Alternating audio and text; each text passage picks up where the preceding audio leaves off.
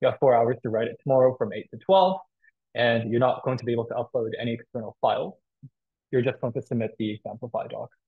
So copy pasting into it should be okay, however. I think my prof said tables are fine, as well as uh, text, but you shouldn't really be writing text elsewhere. Maybe you can paste in images. It depends on the exam. But you copy an image to your clipboard, so if you like just Control C or Command C elsewhere, and then paste it in using right click and then paste, you should be able to put an image in there. If you want to take a screenshot, here's some cool tricks. If you're on Mac, you can press instead of Command Shift 4 for like the normal screenshot shortcut, hold down Control as well, and it auto gets copied to your clipboard, so you can paste the image directly, or you can hit uh, Windows key Shift F if you're using Windows. Uh, don't write yourself in Word. Uh, I did it once, really bad.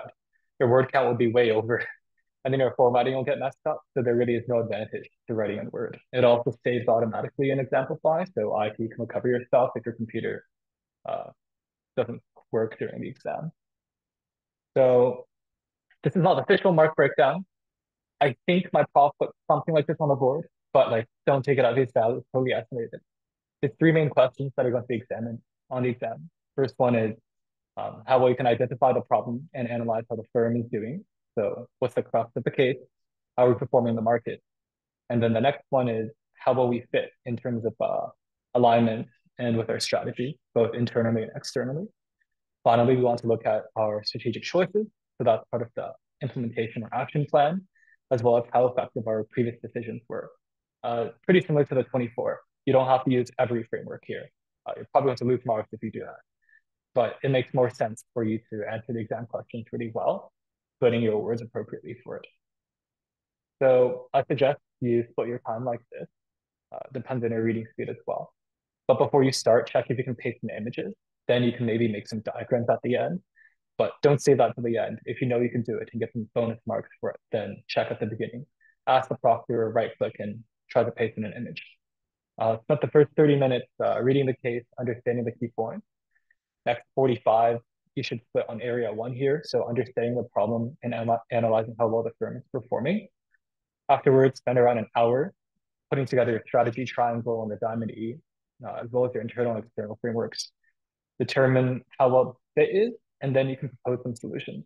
I think it's actually a good idea to sit there for a bit, uh, maybe grab a piece of paper and brainstorm everything you can possibly do, because it's in this 15 minutes that you can really come up with something that might set you apart once you flesh it out for the following hour which is area three, um, strategize, assess, and implement. Finally, for the last 30 minutes, uh, obviously flex time, but if you finish, then you could uh, build some diagrams, put together something on PowerPoint, or just proofread it and make it more cohesive.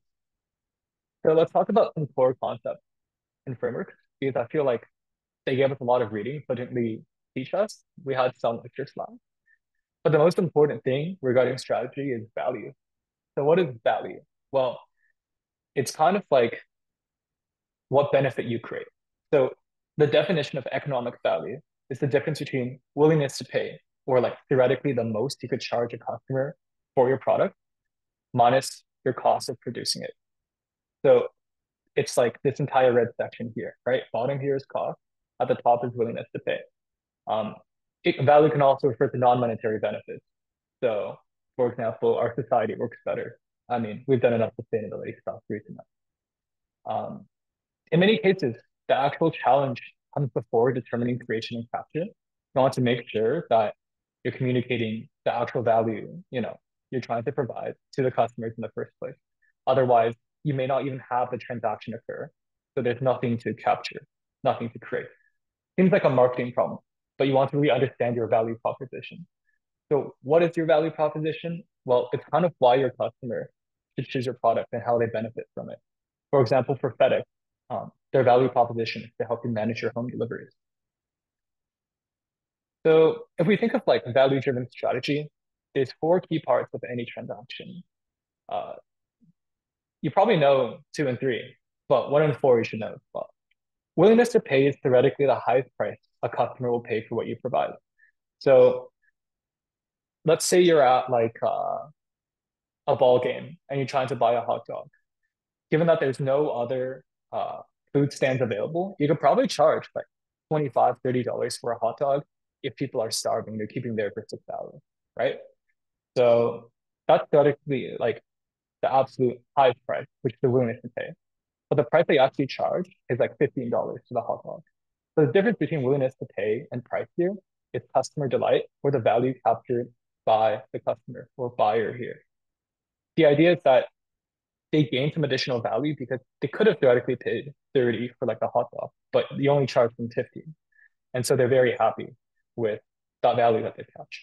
Now, for you as the seller, um, you understand margin, right? So if I'm selling the hot dog for 15, but it costs me like $2 to produce, then I calculate $13 of value here. So that's my margin as a firm or hot dog vendor. Finally, we got cost and willingness to sell. Cost is how much you actually pay the supplier for the raw materials of the hot dog, sausage bun. And the willingness to sell is how much the uh, supplier is willing to accept at a minimum for these raw materials that they're providing you. So if it only costs the supplier like 50 cents for all the raw materials of a hot dog, but you're paying them $2, like you're paying your supplier, then the supplier surplus, the value captured by your supplier here is $1.50. So depending on which role you're taking on in this entire transaction, whether you're the customer or like the main firm who's vending the product or the seller providing the raw materials, um, you might want to take a look at which of these gaps you want to expand. So if we have a look at the value stick, uh, it's very similar to the value creation and capture one here.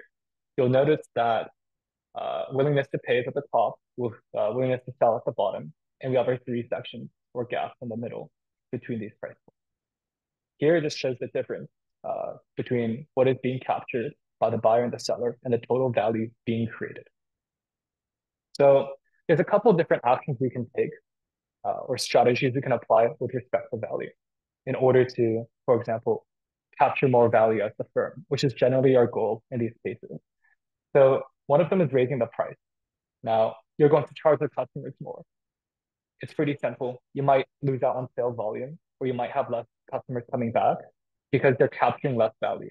People are going to be less happy that they have to pay $20 for the hot dog at the ball game instead of 15. You might also lose competitive advantage if you're trying to compete using a strategy that's considering price. We'll delve into that in the next section. But a good example of raising prices as a strategy is grocery prices today. Willingness to pay very high because it's a necessity. Everyone needs uh, food to survive. And so you can increase your firm margin by decreasing customer delight. The next one is to raise the willingness to pay. So actually make customers willing to afford uh, a product that costs more, has a higher price. Now this theoretically captures more value for the firm because you can charge a higher price and increase your margin. And also makes the customer potentially happier because they're getting what they perceive or what may actually be a better product. Um, since the willingness to pay is higher and the price is higher. So both of these segments have expanded. Now the consideration for this is the pricing may be too high, so you might cut out demographics that are price sensitive. And it's a big question. Can you really convince them that you want to sell a better product? A good example of this is Apple. Um, when they release their phones and devices, you know it's the most expensive thing out there, well, relatively speaking. But since you perceive it to be high quality and there's a pretty cohesive user experience, the willingness to pay is higher. And so Apple has the craziest margins of all of these manufacturers. Now we can look at costs. One thing we can do is lower our actual cost of our raw materials as like the firm here. So we might choose something cheaper, cheapening out um, raw material. Now this might reduce your quality. Uh, it might make your product more inferior if you can't find like an ideal substitute that's uh, just a lower price which might actually lower willingness to pay and then force you to lower your price because you're not perceived as high quality. But it may be a pretty good choice. So for example, if you are a grocery store again, but you want to be a good guy, you could uh, use a generic brand, like contact the manufacturer directly, cut out the marketing and I know, I don't know Kellogg, General Mills, like the generic brands in the middle, and thereby increase your margin. Yet another one is uh, lower the willingness to sell, to actually negotiate for better uh, terms from like your supplier by making them more willing to accept like a lower price for the raw materials. In this case, you will generally engage in exclusivity or volume purchasing discount. You need to give them some incentive to lower it. And you might actually get inferior raw material. But a good example is uh, this theme here. If you buy all of their supply, then they're probably willing to give you a lower price. So if we think about strategic positioning here, you'll notice that it was one of the main points being assessed um, in this exam. We want to mention the generic strategy to use. So there's two main generic strategies, cost leadership and differentiation. In cost leadership, you aim to be the lowest cost producer by maximizing your profit by offering very low prices to your consumer uh, while still minimizing your cost. And differentiation, where you try to create a very unique, high quality perceived product that you can charge more for. So when they ask you on the exam, what's your strategic positioning? You say, I'm using this generic strategy probably. Um, and then for extra points, bring up which parts of like this value stick you want to move. So here's what changes for cost leadership. If you're trying to lower based on price, then by offering the lowest cost in the industry, you can capture a larger margin because the cost in the industry is higher than yours, whereas you can price similarly. And for differentiation, if you can price higher but maintain comparable costs, then you still increase your margin and capture above average value. All right, now let's talk a bit more about alignment. I see different stuff in the chat. Okay, cool. So there are some key components of the strategy triangle you should know. I generally think it's a good idea to start off with a value prop and then see how the rest of the triangle supports it. After all, the value prop sits at the middle of the triangle. So your value prop is really the benefit you're bringing to the consumer, right? And how it really compares with competitors. But you want to support it with your three vertices of your triangle. So check if your goals are attainable for the firm, what metrics you can use to measure the success, and uh, how you can modify your core activities and product market focus to achieve those goals. For example, is how your business structured, well organized to support what you're trying to bring to customers? Is it supported by your product market focus, which is, uh, I'll show you what that looks like later. You're comparing markets and products, really. And in general, when they ask you about strategic alignment, you start with the strategy triangle. Um, and then you move on to some more detailed analysis with internal and external. So here's product market focus. Um, there's four main strategies that we tend to employ based on whether the product or market is new. If it's a new product uh, in an existing market, it's going to be product expansion. For example, adding a new brand of cereal of Kellogg. If it's an existing product with an existing market, then it's penetration problem. So we might want to increase the market share of Frosted Flakes. If it's a new product to a new market, we're basically creating something that new. So it's like diversification. But if it's an existing product to a new market, we're expanding to new market, like bringing, um, I don't know, Apple devices to China in like the early 2010s, for example. And here's the strategy triangle up there. You can see the vertices support the value proposition here. Okay, external frameworks. This part is pretty fast. Uh, we've seen these frameworks like a million times. You probably did them in high school, but I don't think you're going to get extra marks from just filling in these facts and populating them because that's kind of the point of the exam to draw implications based on it. It's also very dangerous here because you're probably going to run out of words. Um, please don't go overboard on stating case facts. Rather, look at each of these frameworks, pick the one that will give you the best insights for each of the sections. So like one key insight, like emphasize a specific threat opportunity or key success factor here. And remember, external analysis is probably like 500 words max after 2,500 word count, because you still have to answer the other three questions. So of course, this PESTEL, um, I'm not going to go through these, but look at each category, right? And then pick out a strength, uh, sorry, pick out an opportunity or a threat. Uh, there's Porter's five forces. So you might want to look at in a competitive case where you're trying to differentiate. Uh, I think rivalry among existing competitors and new entrants is going to be very high. But if it's a cost leadership case, you might care a bit more about bargaining power uh, as well as substitutes to really stand out. Finally, stakeholder analysis. You can compile together a stakeholder register or list to be more organized, figure out what groups are at play and group them appropriately, but you might run out of uh, space or text, so you might delete at the end. You can also use a power interest grid here um, to determine how you should actually engage with your different stakeholders. However, might be more of an implementation thing as well. Okay. internal. So this is where there's a lot of stuff. Uh, the biggest challenge is finishing the Diamond E. I personally found it to be a really confusing framework, but don't worry, it really isn't that bad. So there's five key components you should look at in terms of management preferences. Uh, it's kind of like what the company wants to do or what they think they want to do. The goals they've set, their values, how open they are to taking on risk. And then it's what the company is able to do, organization and resources. So how is it structured, the processes, what staff do you have? It's like LPO. And then for resources, um, a bit more like finance. What capabilities do we have based on finance, uh, like plans and like operations, a legal team even. And finally, the two things on the right, which are strategy. This is what you're trying to set in this exam, and environment, which are the external conditions you've just examined here. So the important thing about the Diamond E is don't write too much about each individual component. In fact, if you're very, very brief with these, I think it's fine because the whole point of the case is to illustrate all of the like uh, sub information. However, you want to really look at the tensions that occur between these individual components and as groups of tension so that you can really wrap up your internal analysis, find misalignment, and find that point, which is the main strategy, right? So this is what you're trying to determine, like in this order, right? Figure out what you need to do with the company to succeed. Um, here you would look at the strategy and improve it based on the environmental uh, external analysis that you just did. Secondly, you would move to want to do. Determine what they have been trying to do previously. Look at your goals. Does it align with what your strategy says you should be doing based on how to survive or succeed as a company? If not, you might want to change these, right? That might be a misalignment. And finally, look at what you can do as a company.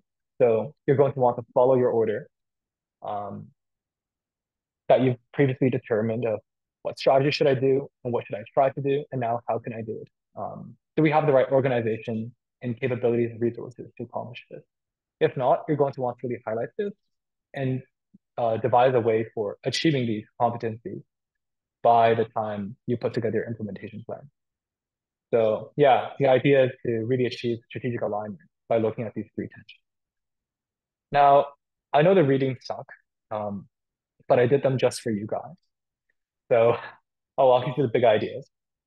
Uh, the main intro to the course is What a Strategy by B. Michael Porter. He made up the five forces.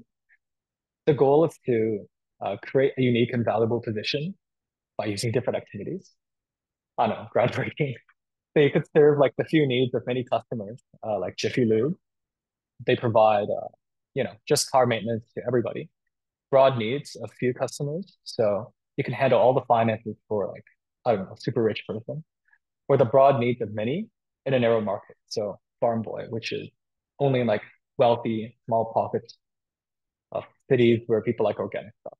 So you need to make trade-offs to achieve this. Fit. The three levels of culture you should know. The first one is artifact. So this is kind of what you see here and observe at a very surface level when you encounter a new group. For example, you might think Ivey culture. An artifact is just going to uh, Delilah every Thursday. And then you have the actual espoused beliefs and values. So when you ask the people, what do you actually believe? They're like, oh, our culture believes that, um, I don't know, the case learning method is good, for example. And then basic, basic underlying assumptions, which is what do the people actually believe in? The case method is great because we don't have to do. All right. So we look at resource analysis next. So uh, it's pretty similar to LPO. Um, we know that there's many categories of resources. For example, you can have a good marketing team, existing campaigns that are going well, I guess. Operations development, finance, like the different verticals in your company. And then next, you might actually want to use this framework, although I don't think it will come up very often. It might be for more like rare resource-based cases. Uh, you want to figure out VRIO for your firm. So does this particular resource or group of resources allow us to respond to external threats and opportunities, thereby capturing value, as we saw in the beginning of this presentation? Uh, is it a rare resource? So do people already have them? Um, if it's rare, is it imitable? Can people gain this resource quickly or is it hard to protect? And finally, say we do have this resource, it's rare and it's imitable, are we able to actually execute and make the most of this resource for our organization? Next, uh, for management preferences, I don't know why, but the chapter is just about sustainability. Um, The goal is be ethical, be socially responsible, consult your management when you're trying to make these decisions and account for their needs, beliefs, context, the beliefs that uh, are really deeply ingrained or frozen preferences, and try to act in a responsible manner. And then finally, for strategic choices, you might actually want to mention this in uh, the end of your analysis or when you're going to implementation as a caveat. There might be cognitive biases here, like framing the way that it's presented to you. Hindsight, oh, you know, my analysis may not be perfect because the case took place five years ago and I know how it ended up happening. Gambler's fallacy, where you think there's like a pattern to random event availability where you assume your information is complete, or if you're just, you know, very arrogant and overconfident. So there's different types of strategies to uh, mitigate this and strategies that do come up. They might be planned, they might actually be executed or not, or they might be unplanned strategies that you come up as you go. Those are the emergent. Finally, almost done. Uh, how do we implement effectively for the strategy exam? Five key components you should know once again. So set your goals and key success factors. So what do you want to do? How do you measure it? good? Look at your work breakdown structure. So what do you actually have to do? Make a super comprehensive list if you want, and then group them together or merge the ones that are similar. Next, look at what resources you need to complete all of this work. So you need to get people, you need to get um, materials to build a house, who's involved. And then next, look at how they interlock or um, work together in terms of the people or groups that are at play. So does IT have to coordinate with marketing to update the website? Is it going to go well, or is there like a critical dependency that they might screw up? Do you have a risk and contingency for that? And finally, the expected outcome. Can you make a business case justifying why you should do this? By 2032, we're going to have an NPV of I don't a couple billion dollars. So I'll send you guys the PDF um, of the slideshow, but you can just paste this in your implementation section, uh, replace the outcomes and metrics, create a basic action plan. Doesn't have to be anything too fancy. If you want to make a table in Excel, I guess you can, but you could just write it out in who, what, uh, what, who, or when for the action plan, basic resource management plan and interlocks. And finally, you can do some financials. So I'll give you some examples if you really want to be a keener and paste these in or modify it. Uh, it's from the Harvard reading. So you can look at how the goals align uh, across your different verticals. You could link them across the levels of hierarchy or depth in your uh, team. So from individual to units, your whole corporation. You can look at different performance metrics segmented by the functions of your business. So marketing, manufacturing, HR. You could also define some additional key performance indicators and objectives, linking them together by area. So it could be cost or safety. Uh, this is a different way of writing interlock, but to be honest, you can just use the text version here. Unit A works with B to copy C in this time period. And finally, you can do some basic finances. I really don't think numbers will be big here, boss. Uh, I think as long as it's there, uh, you'll get them. So yeah, that's all. Thanks for coming to this review session. I'll drop the link to the deck in the chat. See you at the live.